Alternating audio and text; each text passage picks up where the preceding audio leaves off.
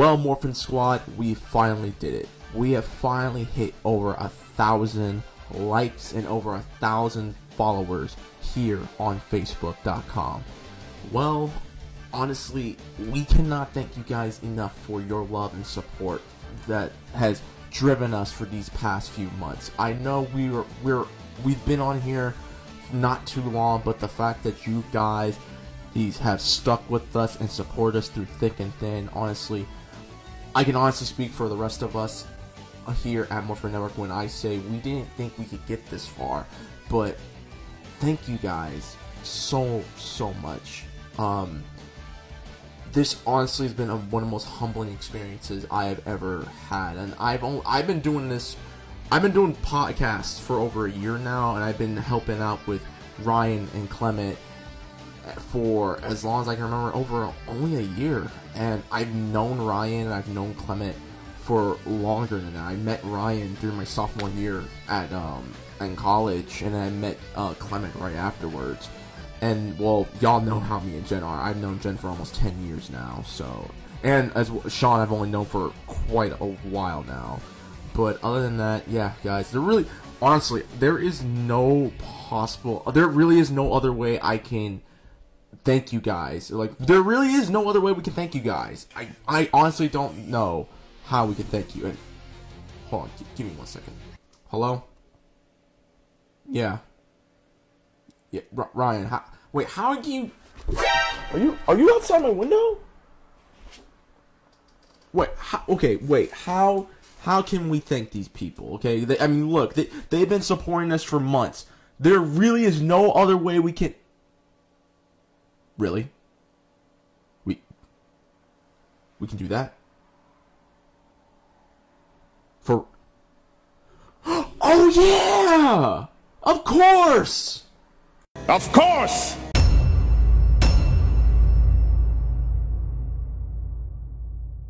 get started, in case you guys want to know what how I'm going to explain this, I'm going to talk to myself about myself in third person. So when I say the name Psycho Fox, I'm not just talking about me. I'm talking about the character that I am playing. Considering the fact that this is kind of a sketch series that we've been doing for a while. So myself is a character in that show. So I'm going to be relating to myself in third person as I discuss what's been going on. But with that being said, let's get started with phase one.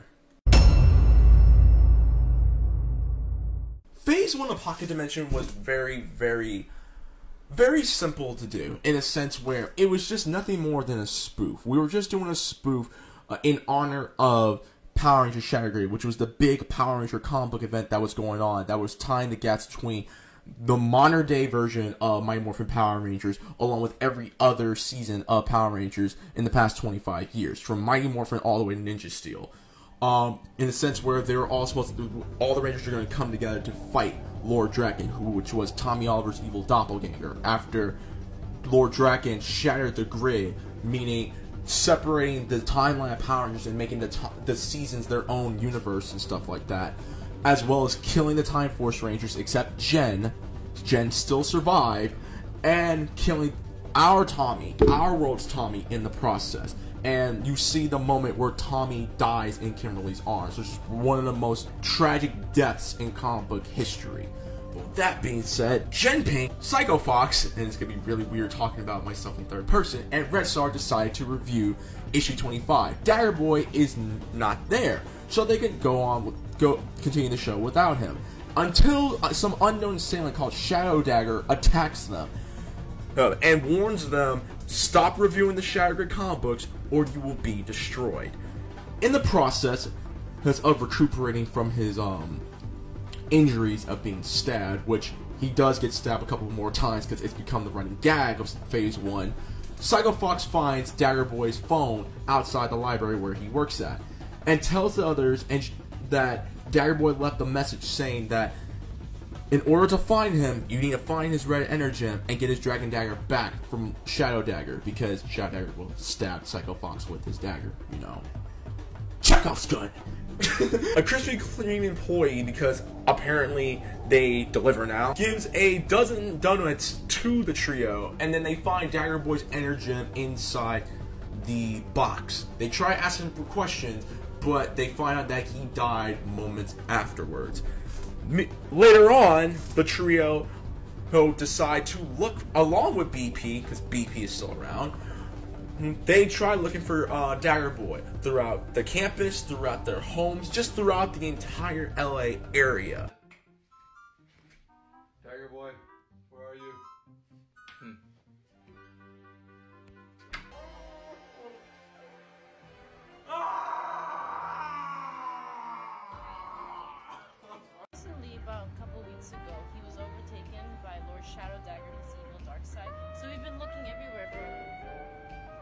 What? Bro, what are you talking about? Where's Dagger Boy? Where is he? Eh, I'm pretty sure I can find him tomorrow. I mean, we're gonna record anyway.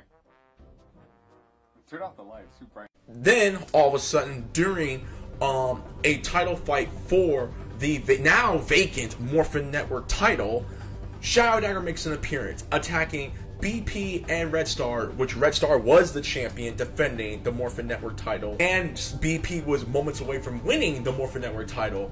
Attacks the three of them, takes the belt, and tries to get away. Psycho Fox manages to go into the pocket dimension with Shadow Dagger and takes the dimensional sword back with him. Grabs BP and Red Star and take and all three of them go to the pocket dimension, leaving Jen Pink on Earth. And well, this happened. Where's everyone? I, I don't know. I don't know where everyone's at. As the trio uh, looked for Dagger Boy in the pocket dimension, Jen was the only one left. So she made a call to our friends at We The Geeks East LA and Angel Grove Radio to try and find Dagger Boy.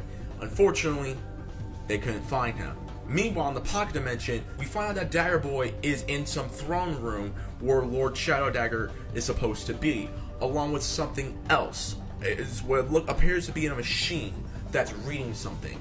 We don't know until later on, which we will get into for phase three, because that will be set in phase three. In the middle of all of them uh, trying to find uh, Dagger Boy, BP manages to find a USB device that has the some unknown plan or unknown plot that Lord Shadow Dagger is plotting, and also in the process, Red Star gets clobbered, and we don't see him for another cool minute.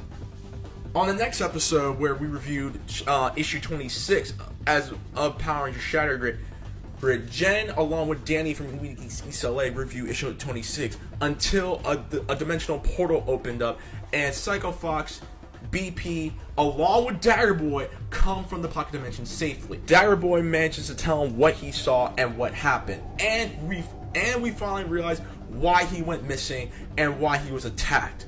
Apparently, we had a troll, and Dagger Boy went to confront this troll, and the process got sucked into the pocket dimension. This is why you do not answer troll emails, people, because you will get thrown into another dimension and quite possibly brainwashed. In the finale of Phase 1, we see that Dagger Boy and Psycho Fox are planning to go back into the Pocket Dimension to find Red Star. But Red Star manages to find his way out of the Pocket Dimension, and as they leave out, Red Star man stays behind saying he has to clean some stuff up. And the process, we see this.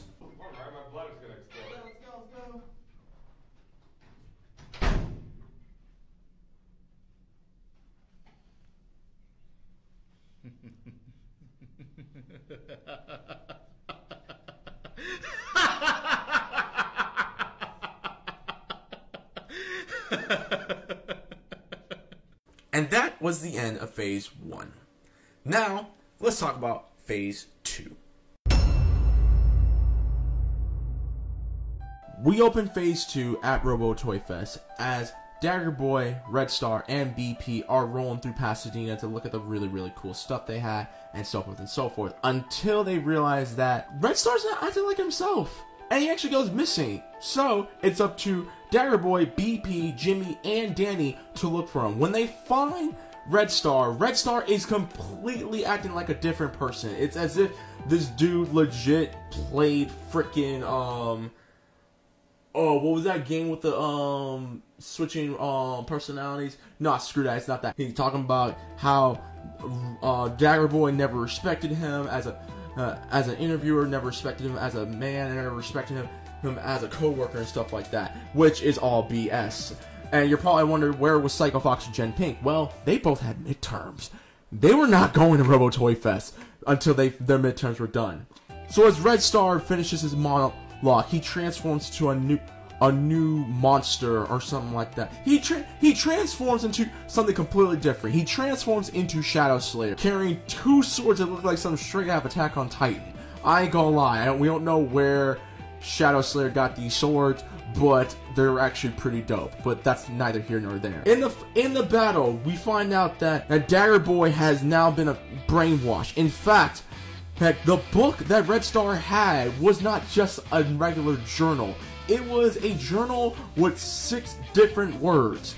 Turtle Pizza, Megaforce, um, Troy, or what was the name? Yeah, Troy, um, uh, uh, some overdrive and some other words, and they pretty much they pretty much Dagger Boy got Winter Soldier, and you find out that Dagger Boy was Shadow Dagger the entire time, brainwashed by this emperor that they keep mentioning named Emperor Zombra. In the melee, Danny and Jimmy get critically hurt. And as BP is trying to calm Shadow Slayer down and try to turn him back into Red Star, well, this happened.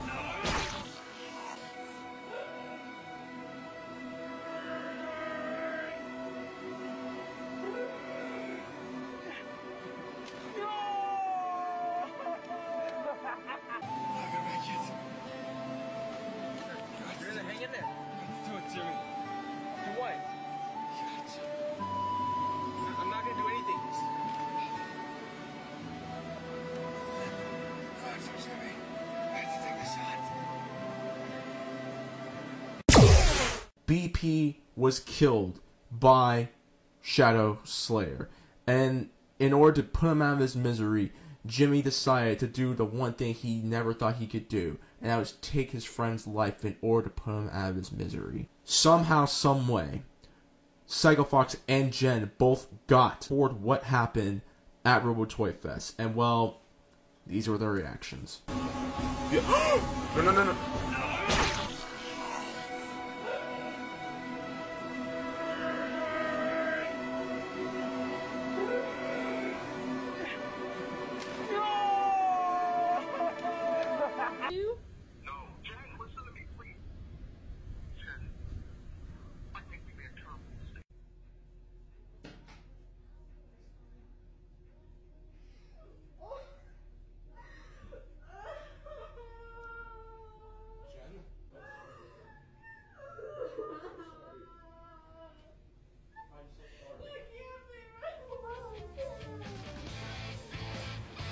After BP's memorial service, Psycho Fox and Jen Pink realized that they had to continue to do the show, even if their friends were now gone. But in the midst of continuing the comic book, Shadow Slayer breaks in, attacks, and kills one of the secu- their security guard, and then takes Jen Pink back into the pocket dimension. A few weeks later, Shadow Dagger and Shadow Slayer leave a message to Psycho Fox that in order for him to get Jen Pink back, he would have to face one of them. And Shadow Slayer nominated himself to fight Psycho Fox. After getting this message, he then calls a now broken Danny because of the fact that he felt like it was his fault that BP was killed. So even though Jimmy tell, told him time and time again that it was not his fault, and that yes, Dagger Boy was Shadow Dagger the entire time, and Shadow and Red Star was brainwashed by Shadow Slayer, and whoever this Emperor Zombra guy is is going to pay. However, Psycho Fox tells them everything that's going on. Jen being kidnapped, the security guard dead, and the fact that they were able to trace Psycho Fox's signature somehow. We don't know why he has a signature, but we'll find out at some point. Back into the pocket dimension. So even if Psycho Fox wanted to go back to the pocket dimension, they would still kill Jen because they would know that he is coming for her. So he tells him that he would have to go to the pocket dimension and save Jen while he tries to hold old Shadow Dagger off, as well as Shadow Slayer. Realizing that this is his way of redeeming himself and redeeming what he believed was his fault, Danny decides to go into the pocket dimension to look for Jen. Being in the pocket dimension and speaking to Jen, Jen manages to get out of the pocket dimension. She manages to get out of being captive by Shadow Dagger and Shadow Slayer and manages to find some type of abandoned warehouse in the in the outskirts of the pocket dimension and is there for God knows how long. Months, weeks, we don't know because there is no such thing as time in the pocket dimension. She manages to find her way out through looking through a mirror or some kind, or actually, no, it wasn't a mirror. She manages to leave after finding what appears to be a portal back into our world and tries to go looking for Psycho Fo- Fox. Psycho Fox actually not knowing that Jen is back. And then we get this cool montage of Psycho Fox working out and telling himself that he may realize that he may not survive this fight. But he says this Night after night, day by day, I find myself wondering if it was all worth fighting for. And then you see this really cool Rocky slash Creed montage of Psycho Fox training and, and preparing himself you know, in every way, shape, and form to fight Shadow Slayer. And that was the and that is oh wait, that is not the end. Danny goes into the pocket dimension looking for Jen and can't find her until he finds a what appears to be a pin of some sort. A pin Oh man, I dropped it. Oh well. A pin that looks like like a lightning bolt.